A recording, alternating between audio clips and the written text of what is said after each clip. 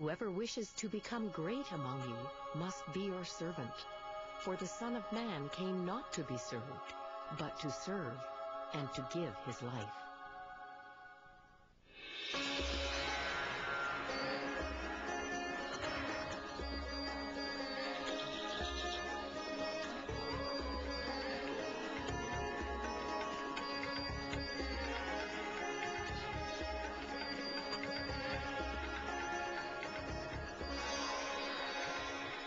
Welcome to India. Today the journey continues. This is our third and last program in a special series to introduce you to this beautiful country and the involvement that Living Truth has in what God is doing in this nation.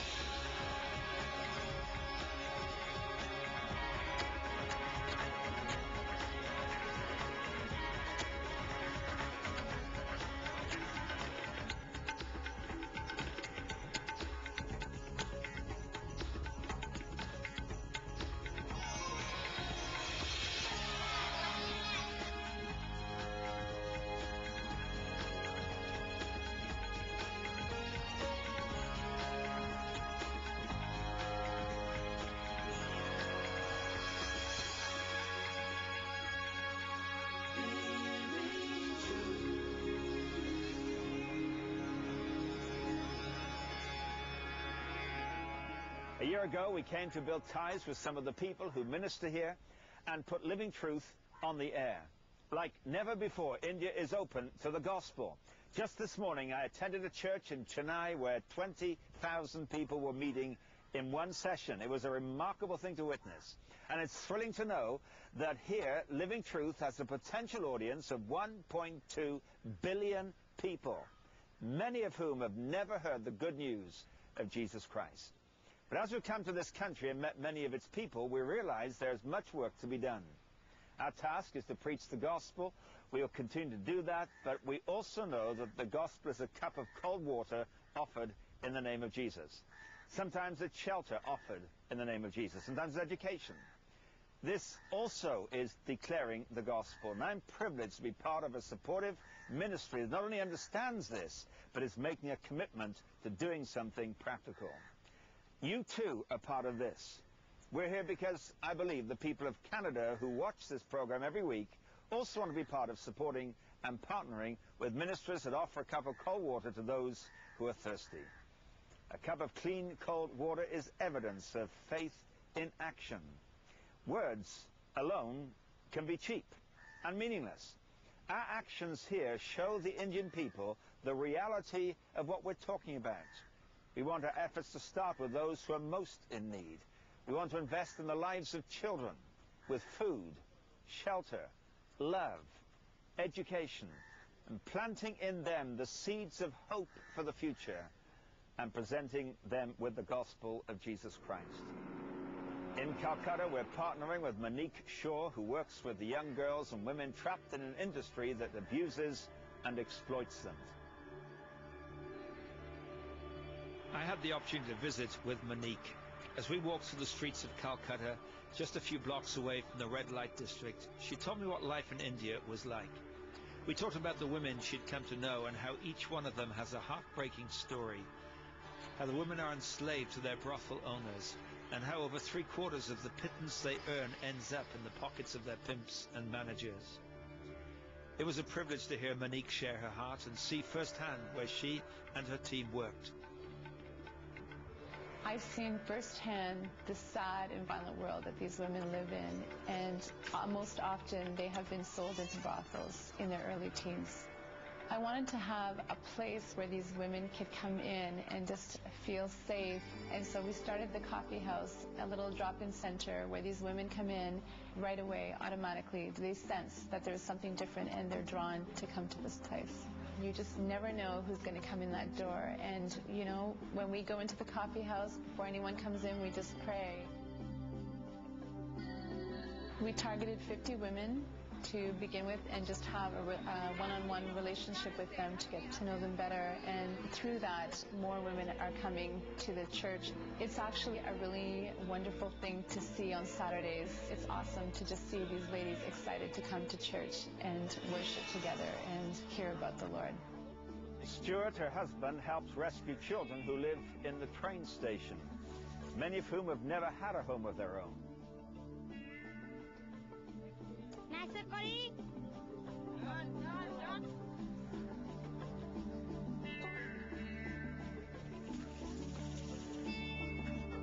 My own visit there was an eye-opening and a moving experience.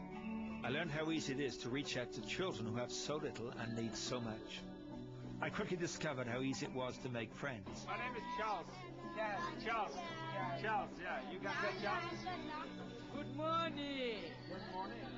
We communicated in the simplest ways, and I felt their love, and I hope they felt mine.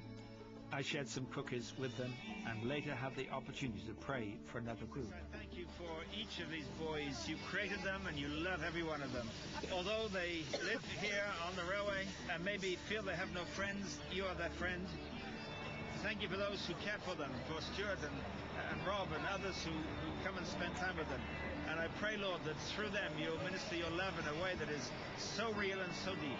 I pray in Jesus' name. Amen. Amen. Amen. And the vision that Stuart and Monique have is to have a place, a home where some of these children can be brought and they can be nurtured, they can be cared for, they can be loved, they can be provided with the opportunity of education, they can be given hope for the future instead of just struggle for survival for today and no prospect of a tomorrow that's any more exciting or beneficial than today. Last week we met Isaac and Tara Managaram of Freedom in Christ Ministries. They have a vision to rescue baby girls in order to eventually place them in Christian families. We want to have a home where there'll be a personal touch with these children, that we would be able to nurture them. In many ways, we would be their father and their mother. And that is why we think this home would be different from other orphanages. This is really the love of God in action. In the lives of Isaac and Tara, it started in their own home. And now God wants to multiply that love, and we have the great privilege of being a part of their story. And we've seen the images and we've heard the statistics. One third of the world's poorest, most disadvantaged children are right here in India. Know, with a population of 1.2 billion and growing, India's children, especially those living on the streets, have little hope for a positive future. These children don't learn how to love and trust or receive a basic education. What will happen when they grow up and have their own children? The consequences will last for many years.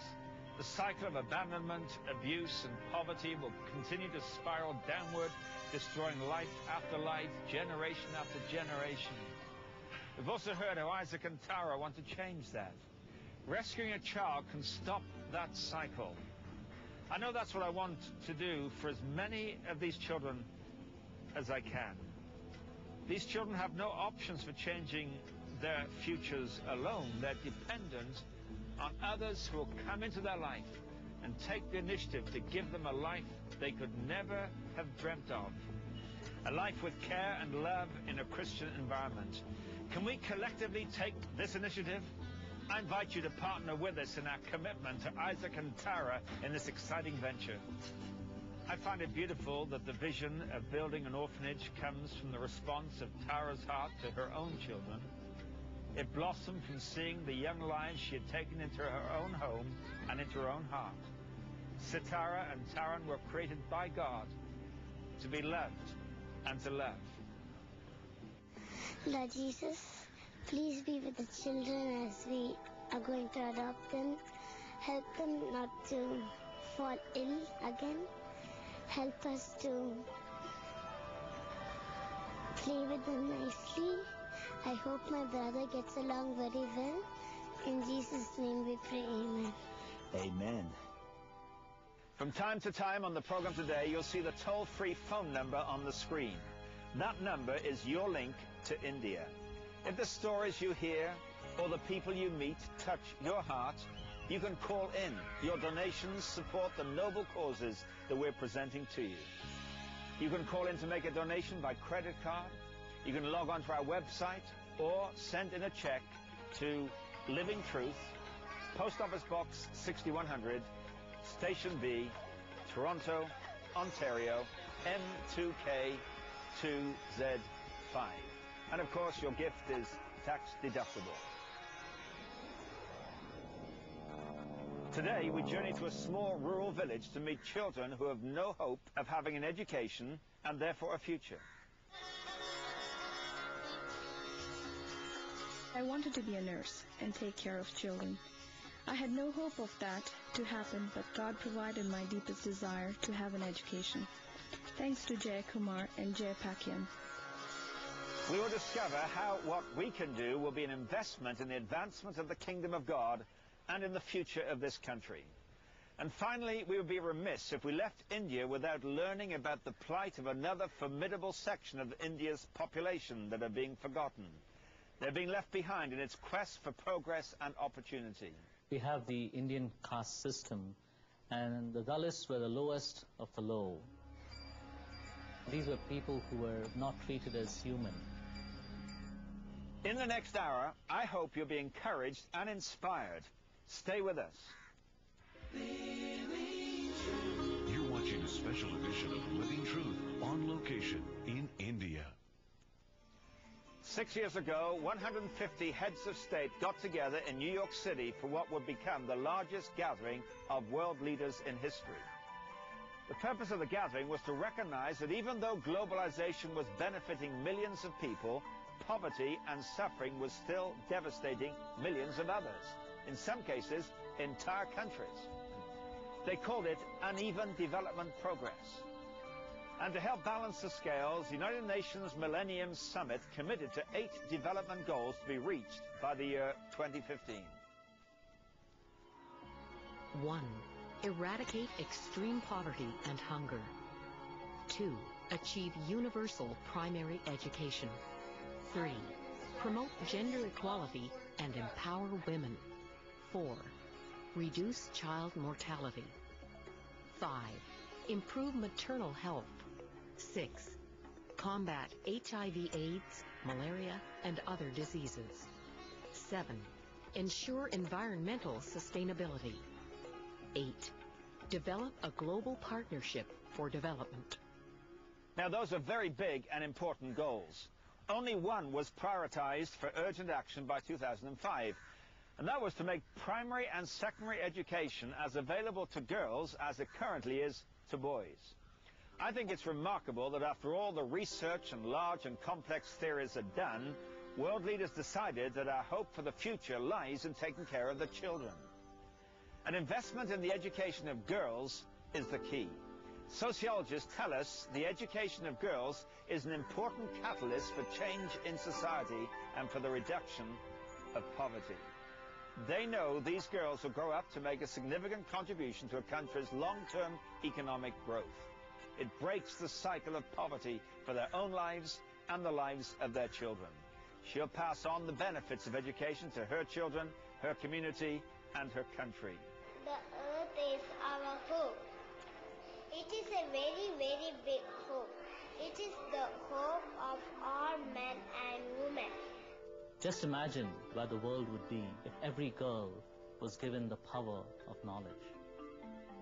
The education of girls prevents the loss of vast amounts of human potential. 90 countries have already failed in their commitment to this first goal.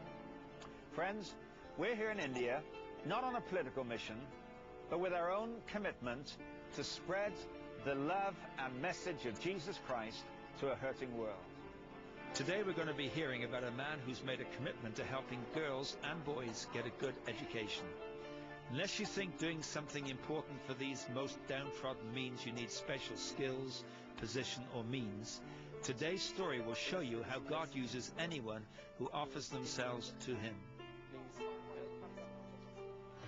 Coming up, the journey that takes Donna to the children who captured her heart. I've always loved children.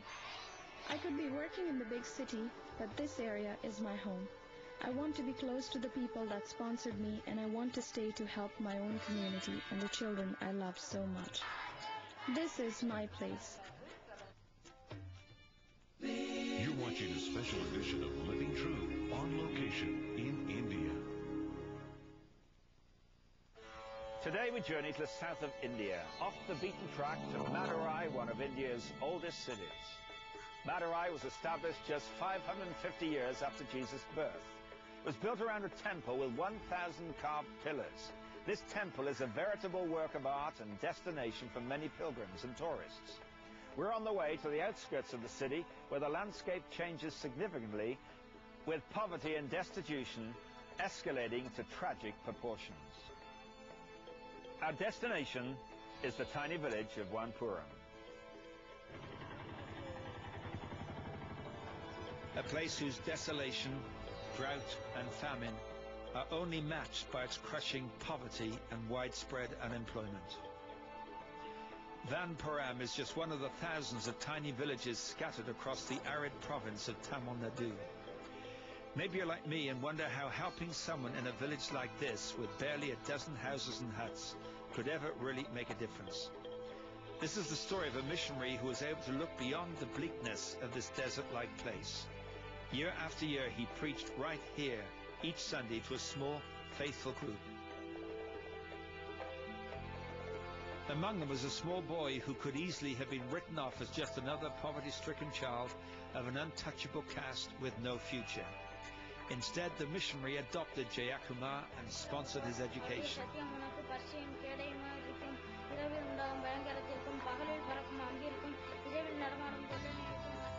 This is Jayakumar today. He and his wife Jayapakiam are doctors, as are their two sons. Their daughter hopes to begin her medical studies soon. Jayakumar and Jayapakiam have lived and studied abroad and could be teaching or practicing in many prestigious institutions or universities. Instead, they have returned here to make a difference in the lives of those most neglected, the Dalits or untouchables. I had finished Master of Social Work and Bachelor of Law, but my all, all the time spent for the downtrodden people. The caste system has been in place for thousands of years. Jaywant Michael, who works with an international ministry, knows most are virtually powerless to escape a life similar to slavery. We have the Indian caste system, and the Dalits were the lowest of the low. These were people who were not treated as human and were expected to do things that no one else was willing to do. And because of that, they were socially unclean. There was no normal human interaction with, Dalits. It's been centuries of oppression building up. At the time of the Indian independence, it was recognized that this was a huge group of people that needed to get into the mainstream. And these were precisely the people Jayakumar most wanted to reach. But he knew that helping Dalits find true freedom, emotionally, spiritually, and practically, required making a continued investment over several generations, a task much larger than he could give. He decided to focus his vision on Dalit children. Jayakumar knew the profound challenges Dalit children faced, especially in being able to get even a basic education. Not many schools are actually available, and secondly, uh, because of just economic reasons, uh, the parents would rather put the children to work.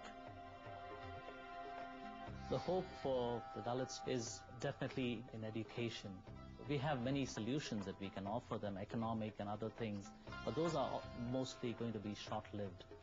If Jayakumar could help provide education for Dalit children, he knew the benefits would impact generations to come. He remembered his own childhood, what it was like to look out on a future without hope or possibilities, and how education had opened his world. The UN has recognized education can really transform a family, a community, and society. And so uh, education, in many cases, is the starting point. Schooling could provide vocations, offering children who barely knew how to dream futures full of promise. Although Jayakumar had no money, he knew God's provision would match the vision he had given him. He started with the most disadvantaged of all, young girls. In a dusty field where only tumbleweed survived, the Matha School of Nursing was started to give rural Dalit girls the skills to become self-sufficient and to be able to serve their communities. As Jayakumar's vision grew, more and more schools were added. Now, 25 years later, Jayakumar has returned the sponsorship given him 100-fold. Sir Jayakumar and Mrs. J. Are persons gifted from God. Uh, really, they are a person to be admired and taken to be person as role models in our life. They have been so helpful and uh, I'm very thankful to both of them. This oasis of learning serves rural Dalit young men and women where neither caste nor social class make any difference. Uh, in our college, there is no discrimination of caste system. We all are one family. High caste people, Dalit people are one family. They live together, eat together, and mingle with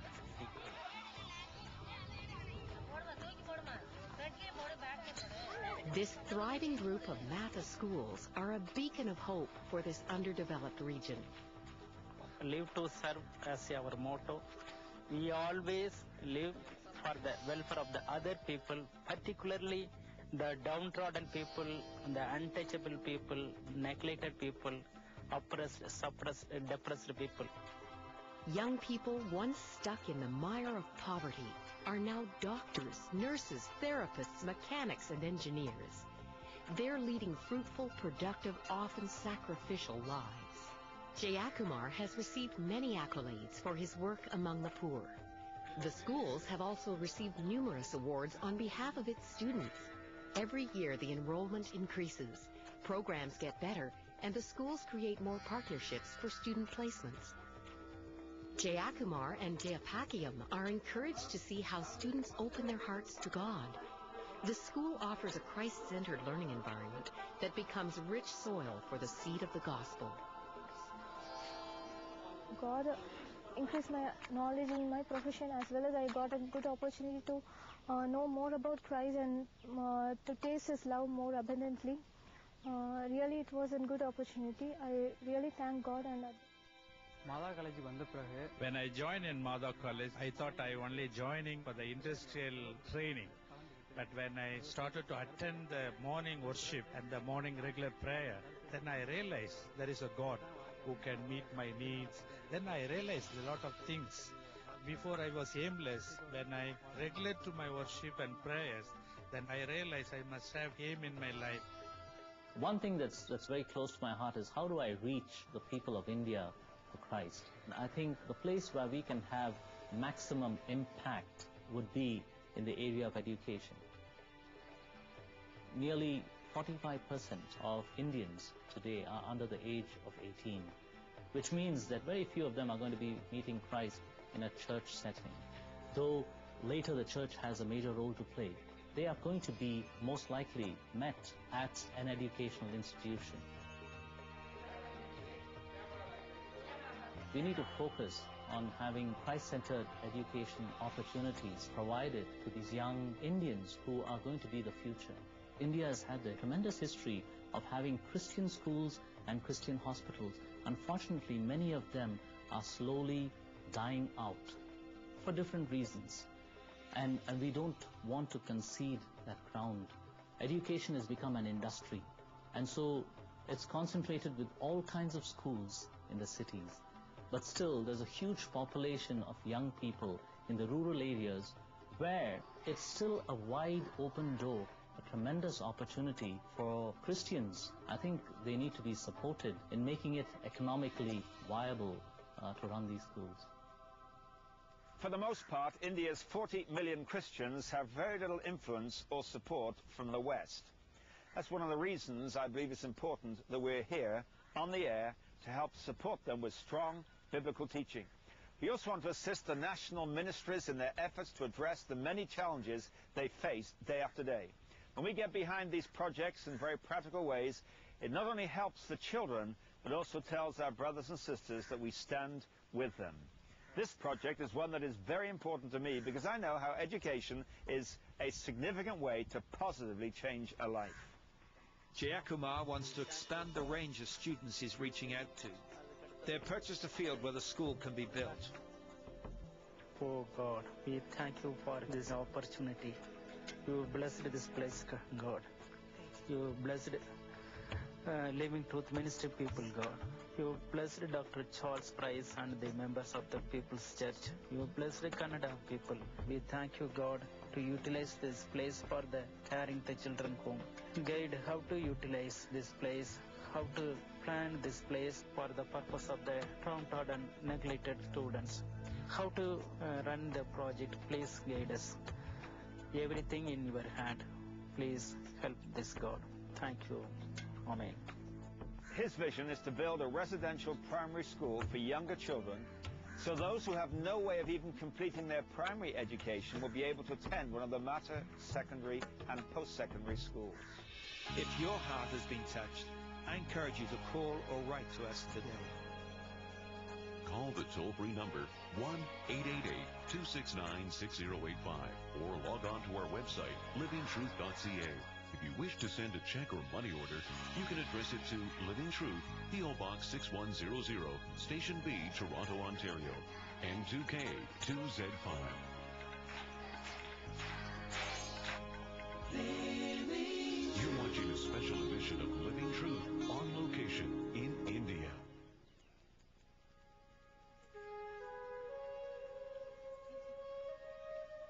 Coming up, Jayakumar and Jayapakiam ask God to help them build a residential school. As they pray, a young girl waits. Every day when I stay behind, Lord, I remember and I wait. Do you see me wait?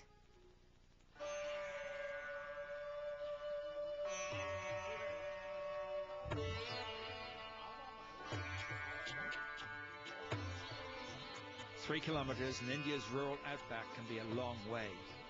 That's the distance Dana walks every day to catch the bus that will take her into town. As she waits for the bus, she watches the women building the new shelter. She knows this could have been her life.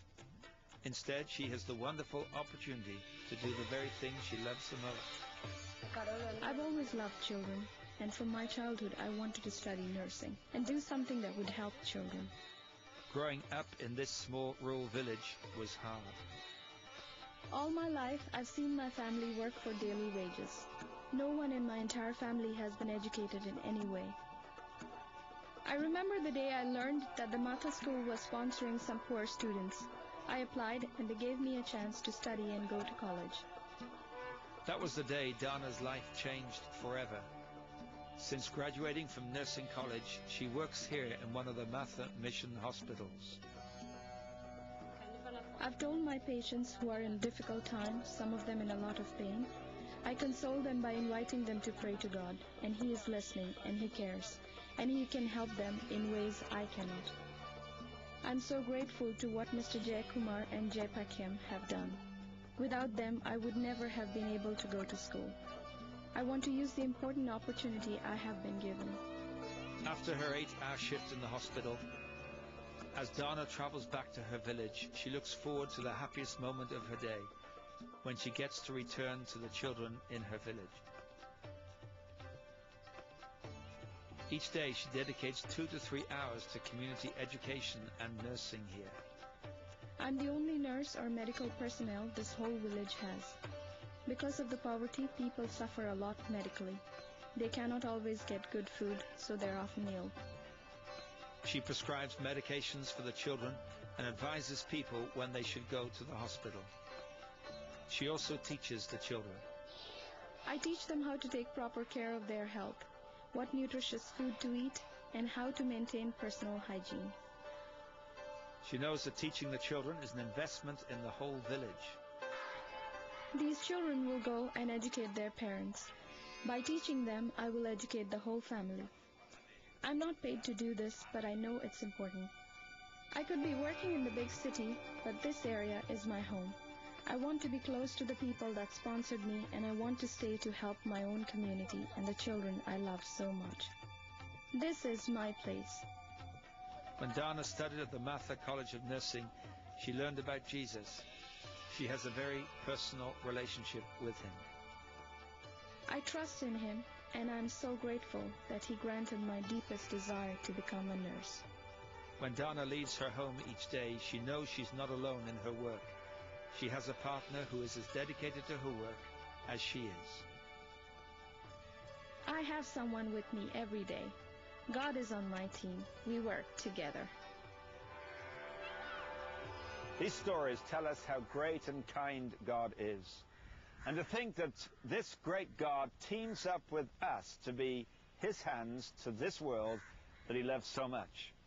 We believe that the gospel is something that needs to impact all the parts of a person's life and through every stage of their life, from its earliest beginnings to its final moments. Some building blocks, like education, are a very critical and foundational part of a person's life. Helping put these into poor children's lives in conjunction with the gospel is especially satisfying. The caste system here has put a label of untouchable on many of these children. And as a result, they've been treated like second or third or fourth class citizens, sometimes tragically even like animals. But our God is a God who doesn't make distinctions like that between people. He is no respecter of persons. Everyone is equal and everyone is loved in his sight. This is the good news that Jesus died for all because he loves all without distinction. That's what we're called to do as well.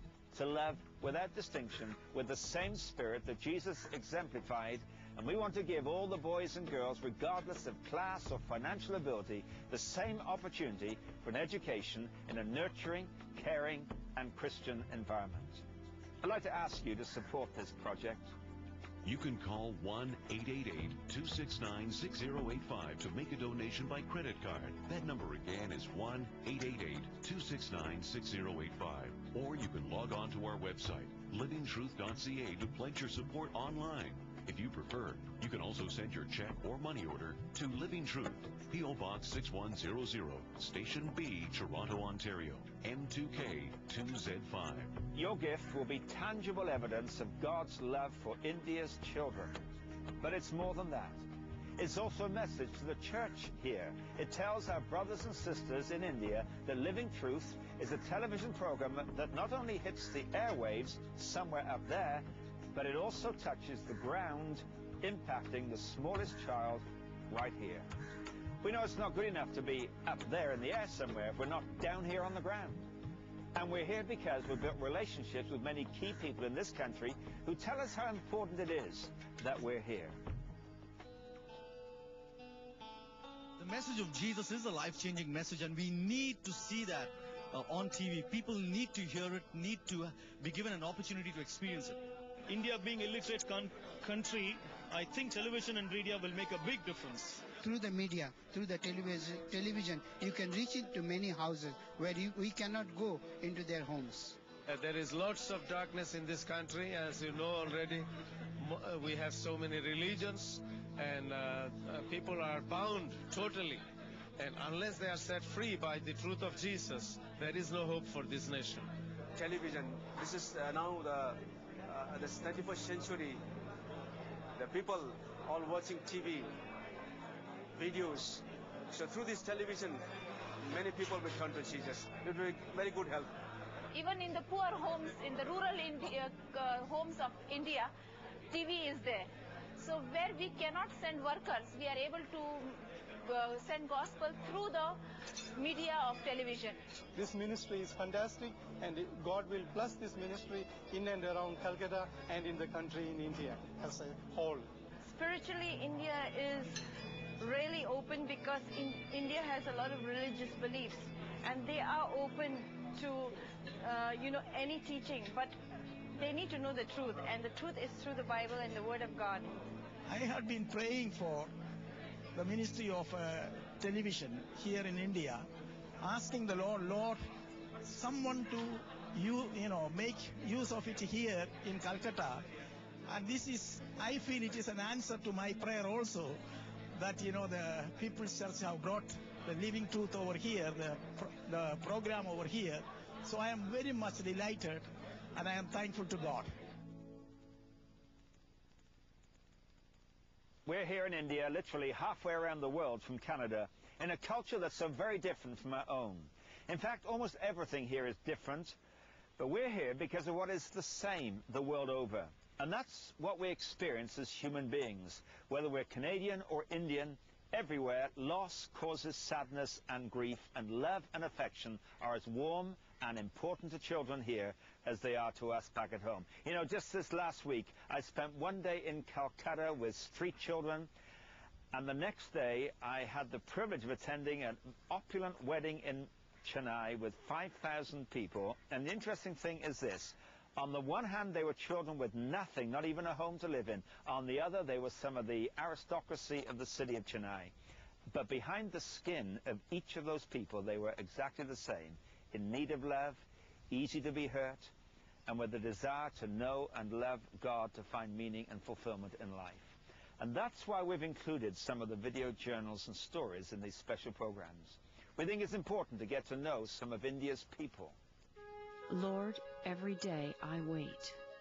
I wait and I remember how much I wanted to stay in school, to study and to learn.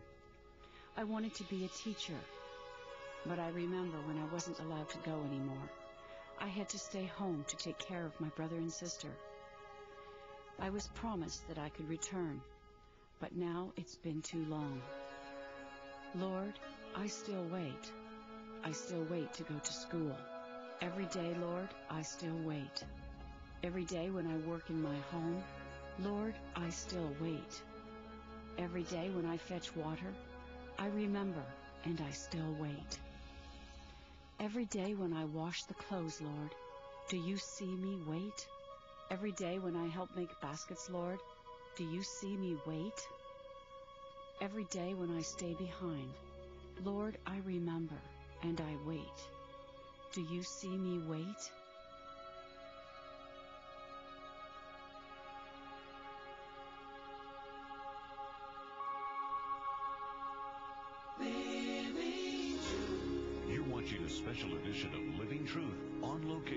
In India. Coming up, the heartbreaking reality children without access to education. Children in rural areas face many challenges, especially in getting basic education. Our area, Sivagangai and Ramnad district is the most drought-prone uh, area in Tamil Nadu, India. Nearly 80% of the people in the rural area, they, they were unable to continue their study. Most of the region is comprised of small villages, the majority without schools. The closest school might be 20 or 30 kilometers away. Here in the villages, transportation is not what uh, uh, in the West. Most people walk for many miles even to get things like water. For a student to go to school, it would mean many miles of walking and not in simple conditions. I mean, you've got very hot weather, you've got the rainy monsoons, and so that would be enough disincentive for someone who's already being challenged in other ways to get an education. Getting people to attend regularly under such circumstances where they have to travel so many kilometers uh, is, is not very easy. That's why Jayakumar knows the importance of a school where the children can stay during the week. The idea of having a residential school definitely will ensure not only a community of people who are from the same caste, who once they've been able to liberate their minds, uh, you're actually forming a cohort of people who can do a lot of things for their own community later. Jayakumar has arranged temporary housing for 100 boys and girls. We have uh, one building that is the uh, building actual purpose to develop college of teacher education. This first floor we utilize uh, the time being. In future uh, we will develop our own hostel for the carrying the children home. We will provide loving, caring and Christian environment for the children. We give accommodation, food, uh, dress and everything we will supply for the children. I feel I am like as a father. But for Jayakumar, being a father means the children will receive more than just physical care and nurture. Like the schools with older young men and women, they will participate in morning devotions, Bible studies, prayer, and worship. during the curriculum, we will plan to teach the gospel to the poor students. And we motivate the students, all the students, live in the way of Jesus Christ, sacrifice their life to the downtrodden people. Jayakumar is pleased that the infrastructure to help the young children continue their education is already in place. We support some students up to higher education. After completed the higher education, all the students ge- will get the chance to study our college, nursing college, physiotherapy college, teacher training institute, and the arts college. And it doesn't end there. Like a true loving father, Jayakumar has a long-range plan in sight for those he calls his children. After complete their professional studies, we will arrange employment opportunity. At the time, the students also will support to for the home for the poor students. Jayakumar's story reminds me of Isaac and Tara, who many of you met last week, and the work that God has laid on their hearts. They're starting a home for children and a Christian adoption agency, rescuing children like Jayakumar, also once an orphan. His story is such a wonderful example of what can happen when we open our hearts and lives to a little helpless child. Now Jayakumar impacts his country and the lives of so many others for such good. Your gift is a response to the commandment to feed the hungry, to clothe the naked, and to care for the sick. But it's more than that. Giving is an opportunity to broaden your borders, allowing God to use you to share His light with the world. You can't change the entire world, but you can change the life of this child, or this one, or this one. There's once a small boy walking along a beach with his father. An unusually high tide had brought in lots of starfish and left them on the beach where they were drying out and likely were going to die. This little boy began to pick up a starfish and throw it back into the sea. Then another, throw it back in. Then another, throw it back in. His father turned and said, Son, there's far too many for that to make any difference. And as the little boy threw the next starfish into the water, he said, Dad, it'll make a difference for this one. For this child, your gift will make a difference. If that's something you want to do, I encourage you to call in today.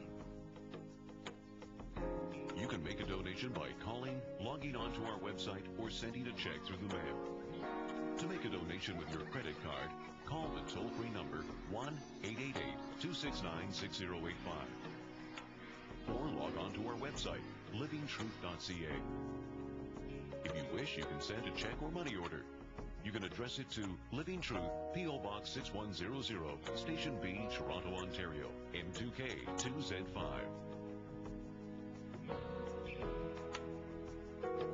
Like Canada, India is a remarkable synthesis of races, cultures, and religions striving to live together. With three times the population of the United States living in one third of the space, it is home to almost half of the entire world's people groups. That much variety means more languages and dialects than anyone seems to be able to count. The Indian constitution has managed to recognize 22 of them officially. And we think that we have trouble with French and English. Interestingly, India has the second largest number of English-speaking people in the world. 150 million in all. Now that's a significant potential audience for Living Truth. What a joy it is to greet you through this wonderful program. It gives me immense pleasure to welcome Living Truth to India. My friends, I'm so glad that Living Truth is coming to India. We're really happy to know that Living Truth is interested to come to Chennai, to India. We'd like to welcome Dr. Charles Price to the church in India. And we definitely need Living Truth to come in and help us. We are welcoming with waiting arms for the Living Truth to come into our country. I'm so happy to invite a Living Truth Ministries in India. I welcome this Living Truth to India. God bless you. This is my joy and privilege to say we are delighted and grateful for Pastor Charles Price being seen and heard in India. You see, with over a billion people, and 40% of the people speaking English. What a blessing it is going to be to have millions of people receive this teaching. For me, knowing Pastor Charles, his life and his commitment to Scripture, I am convinced this is going to be a significant thing for the kingdom of God and for the subcontinent.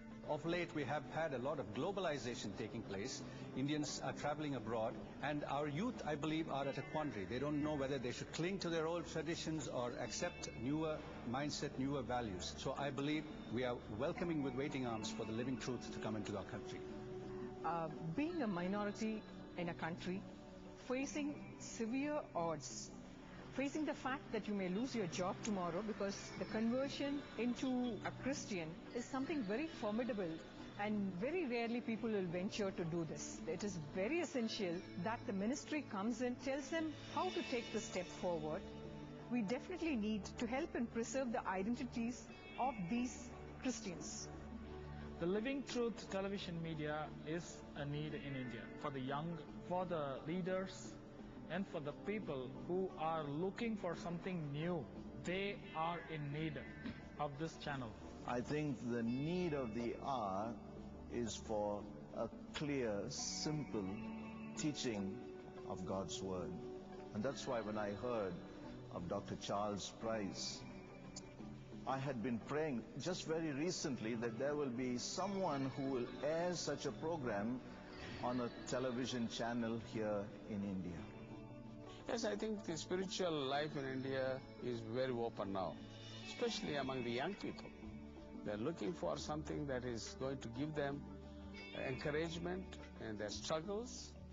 And as they develop their own uh, intellectual abilities, they, they're looking for a hope for their future life. I'm sure that will be greatly appreciated by the Christian community in India and also so many secret Christians who are in India because people are people have a great longing to hear the word of God. What a joy, what a thrill it is to know that the great People's Church in Toronto is coming all the way to the great nation of India with the good news of God's love and compassion. I'm sure that Living Truth is going to be a great blessing for the millions of people, seekers in India. You're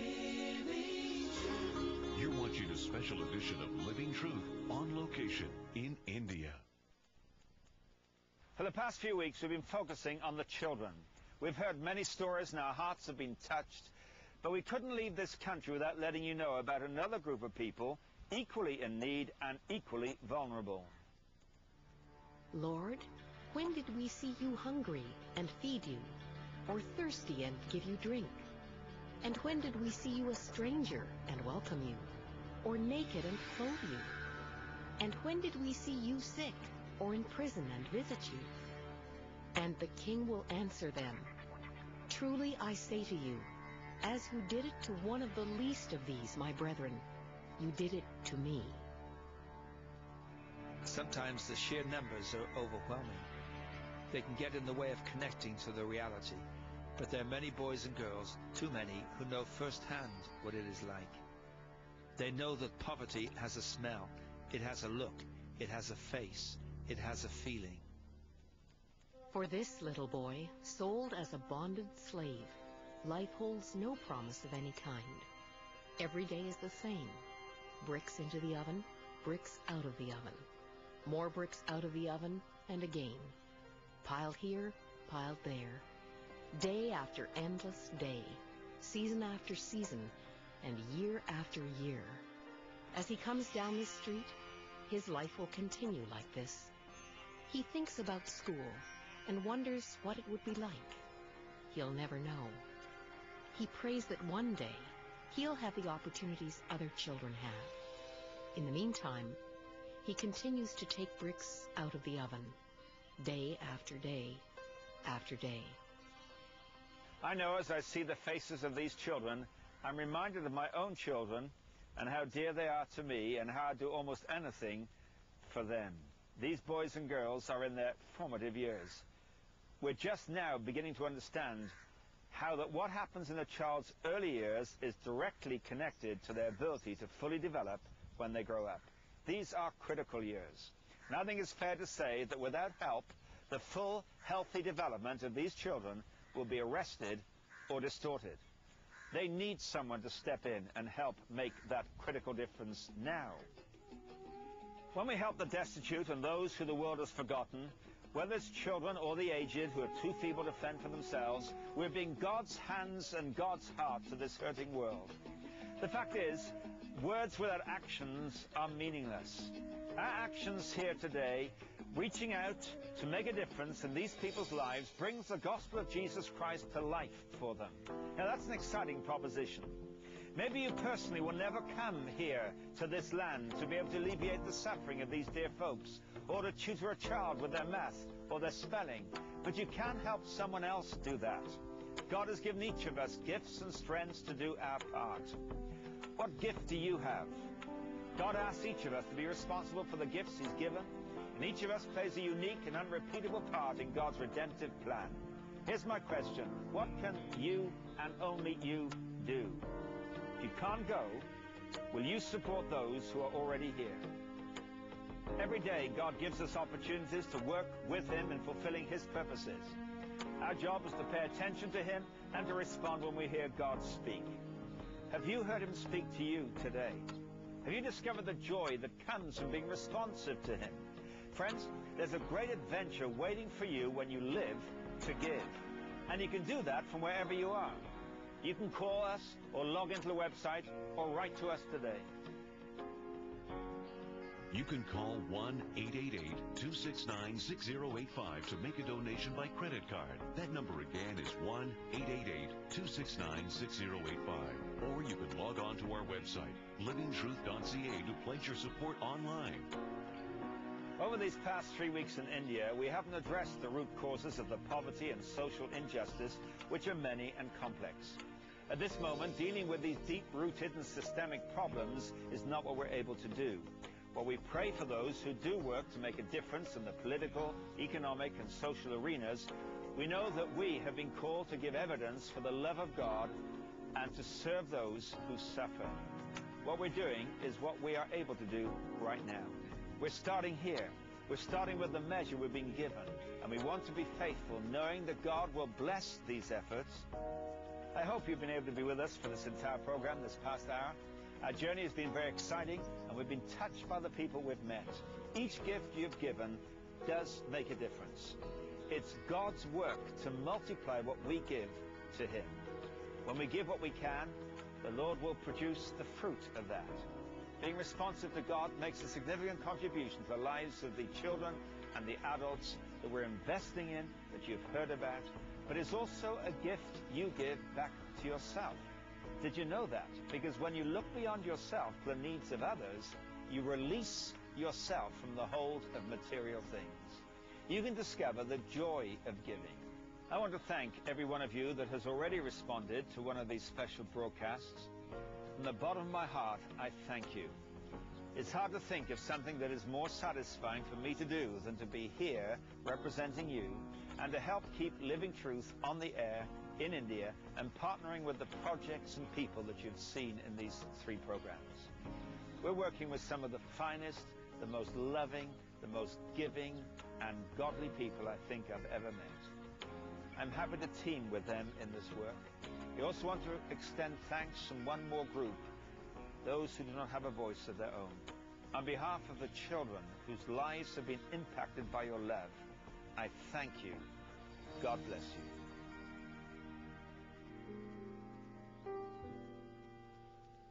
How deep